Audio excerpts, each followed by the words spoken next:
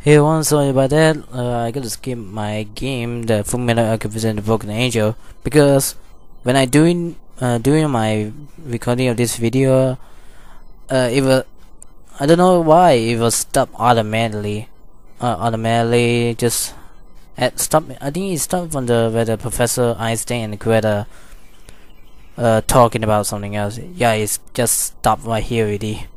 So I gotta get some of a new game and uh, I don't know why it just stopped and I had no idea why.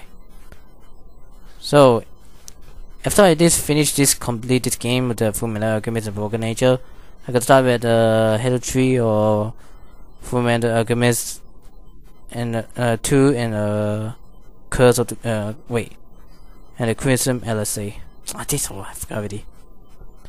I think I'm gonna like somewhere else like Tales of Vesperia 2, Halo 3 multiplayer, yeah, I'll order my man again.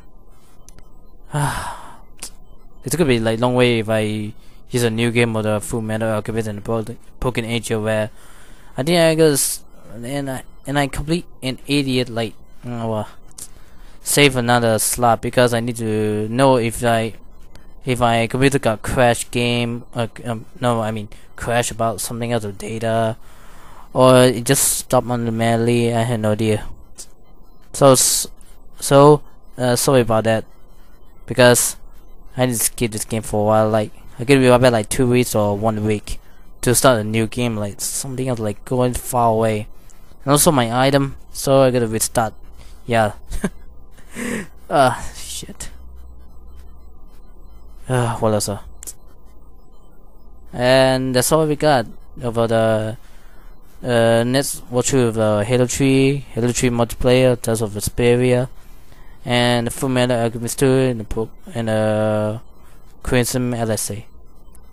I don't know. I, don't know if like there's another game like uh, I did. I think I got more PS2 game and PS2 game and Xbox 360 game.